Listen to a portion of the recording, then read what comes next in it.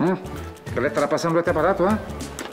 Asistente, venga para acá. Para dar mi clase de español necesito que me cambie unas pilas o unos pilos. Presidente, en Venezuela ya no hay pila. ¡Pila! No los volvieron a importar. Y pilo, ¡Pilo! mucho menos. Todos se fueron a estudiar a Colombia. Bueno, entonces tráeme una regla, pues. La regla. Presidente, desde que usted llegó a este país, las reglas se acabaron. Bueno, ¿qué voy a hacer yo para dar mi clase de español, ah? Voy a quedar mal con mis televidentes y televidentas. Buenas noches y buenas noches. Bienvenidos a su clase con Maburro, que para el español es un burro. de 200.000 becas estudiantiles para estudiantes de los liceos y liceas, de los liceos y liceas, de los liceos y liceas. En conmemoración del Día del Idioma, uno debe hablar muy bien no solo el castellano, castellano, sino también el español, español.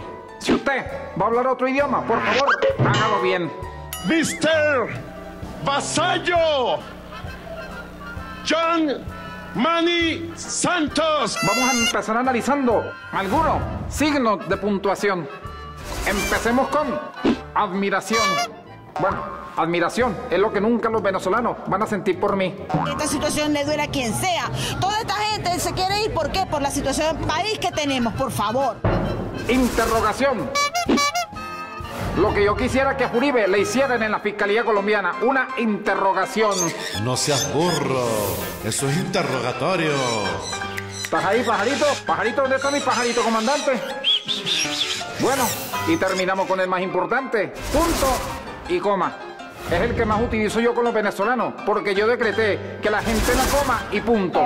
La ciudad está llena de jóvenes como ellos buscando qué comer en las calles. Ah, Y de este father o pelucón, ni siquiera hablo porque él es punto aparte. Tú sí eres mucha mula. Pajarito, pajarito, yo te escucho. Ya que estás ahí, mándame una señal desde lo alto y dime que he sido yo para Venezuela. Ya entendí, pajarito.